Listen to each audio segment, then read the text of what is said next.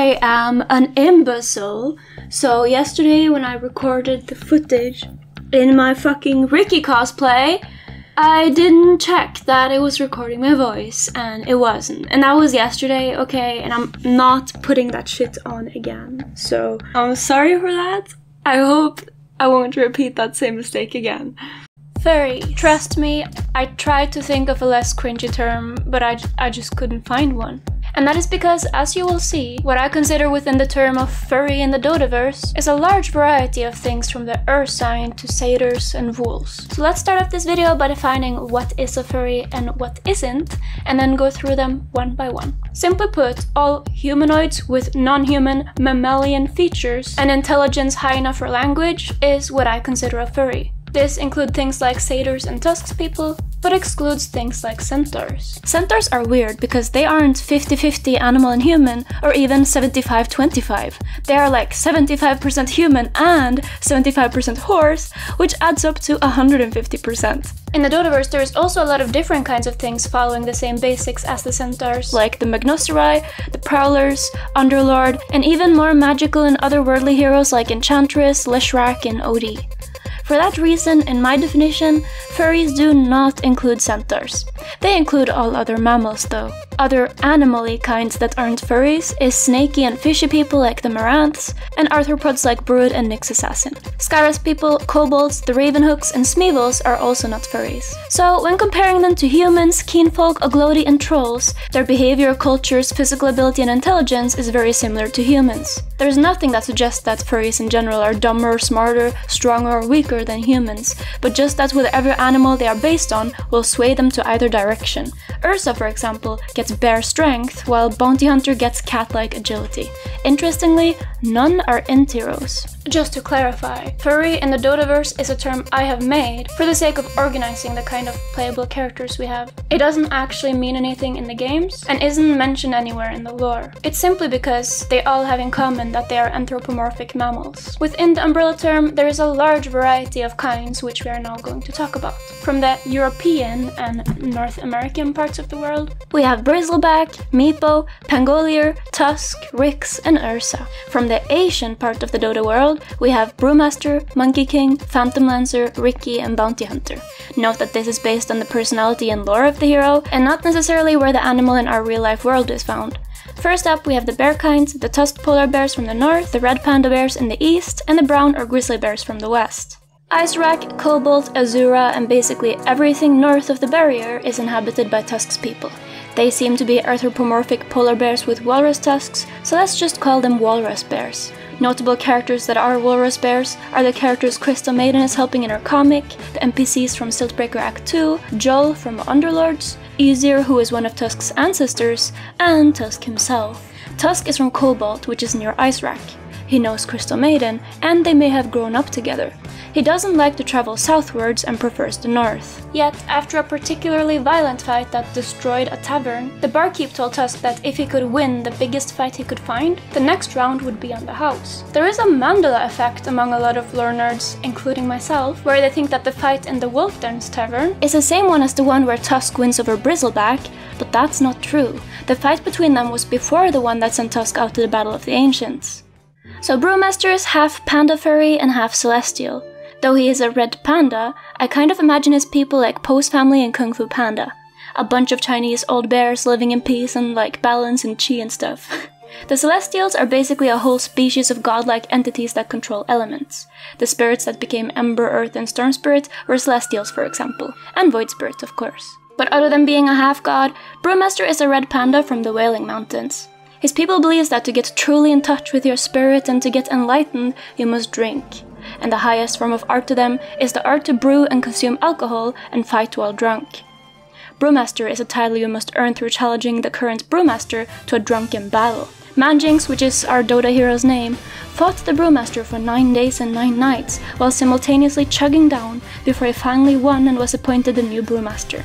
He thinks that if, while drunk and in touch with his spirit, he thinks the single right thought, the schism will be undone, and the physical and spiritual plane will once again be united. The Ursine are much more at one with nature than the other bear furries, especially Ulfsaar the Ursa warrior, who despises science, technology, and the keenfolk.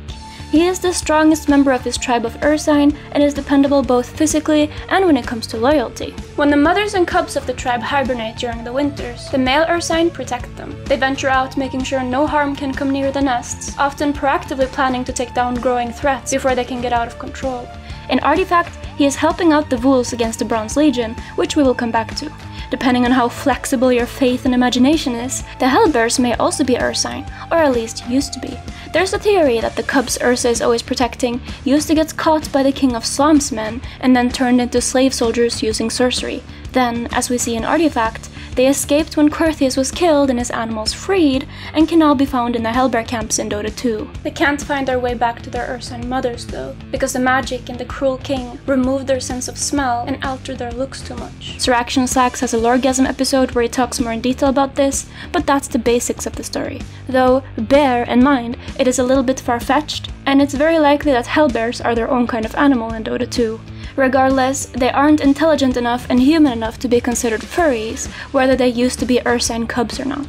They aren't capable of speaking in artifact voice lines like the satyrs can, but it's still a fun theory. So, Monkey King is actually a character I was considering not including, because he's based on the real life Chinese folklore legend, and he's immortal and super powerful, way beyond furries like, for example, Tusk but it's possible that he was a regular little monkey furry once, before ripping out his page in the Book of the Dead. And also, I remember there's another monkey furry in the Dota universe in the Legion Commander comic, Tip of the Spear.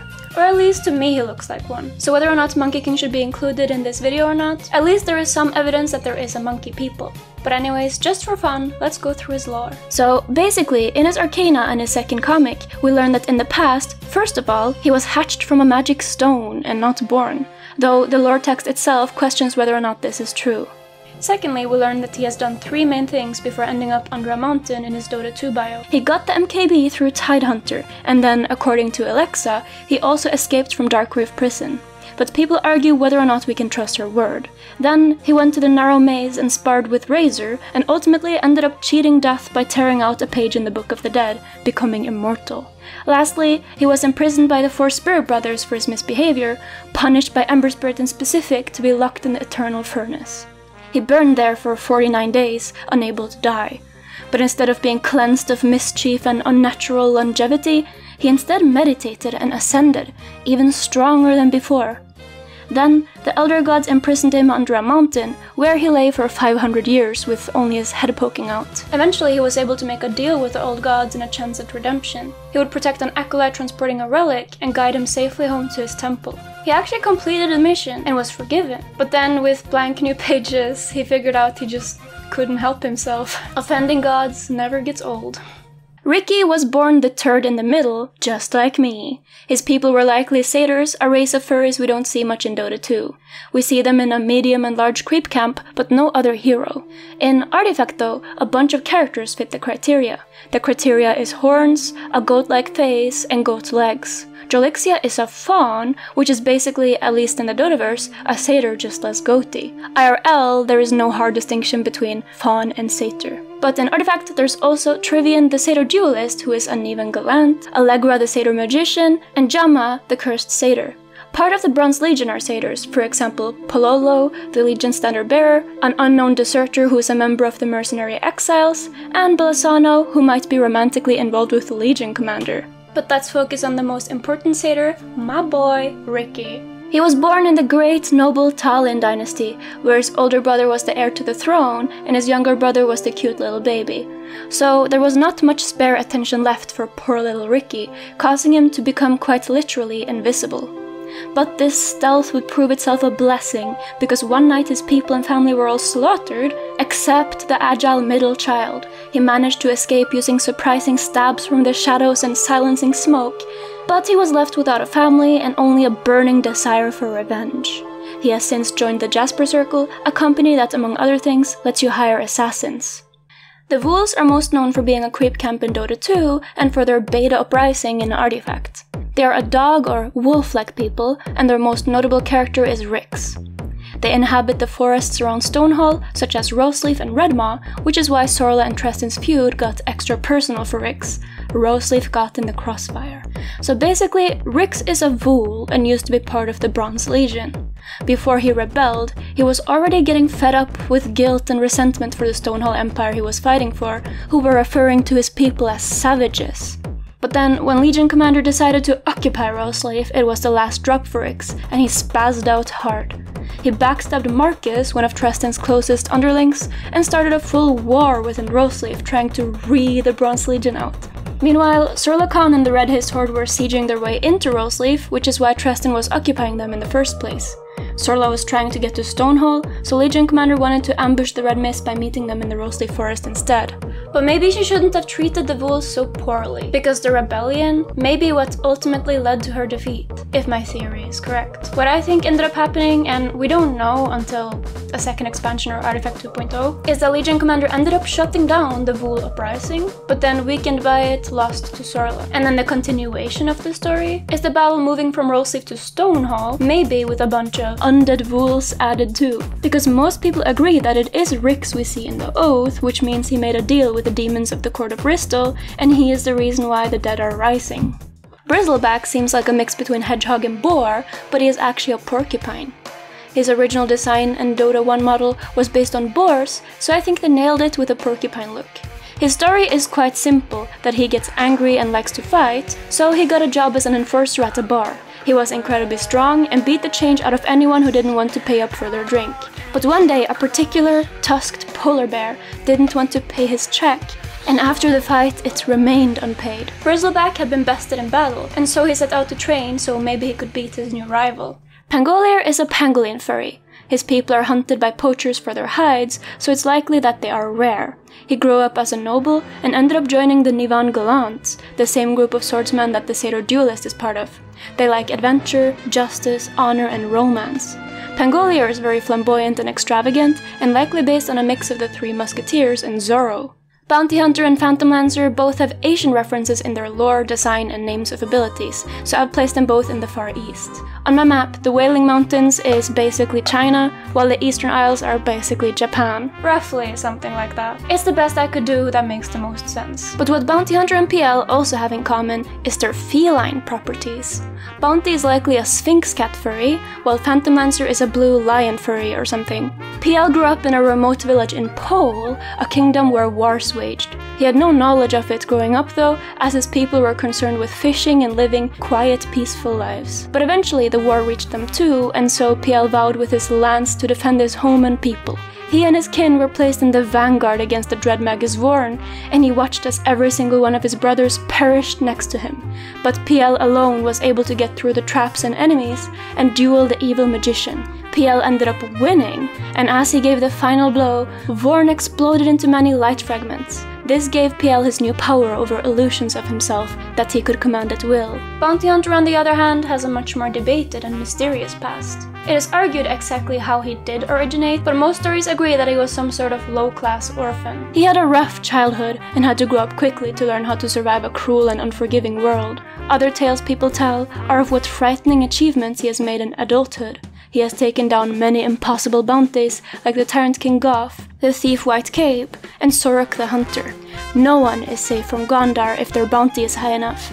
One such bounty is on Mireska the Dark Willow, set by her own father. She got tired of the high class life as a Revtel merchant king's daughter, so she burned her father's estate down and escaped. Now Bounty Hunter has captured her, as we have seen in Artifact. But there might be hope for her. Meepo is some sort of rodent furry, whether they're a bunny, a rat, or whatever you want to call them. For me, it's rabbit, but I know some people insist they're a rat, so I'm gonna include it. In Dota 2, their lore is simply that they're geomancers digging around ruins looking for crystals to sell. They have developed a pretty shady personality after having to live a difficult life of big fish eat smaller fish. In Artifact, they have taken a large loan to pay off some debt that they can't pay, and so to avoid getting killed by a bunch of people who are pissed off, they have decided to save Dark Willow from Bounty Hunter.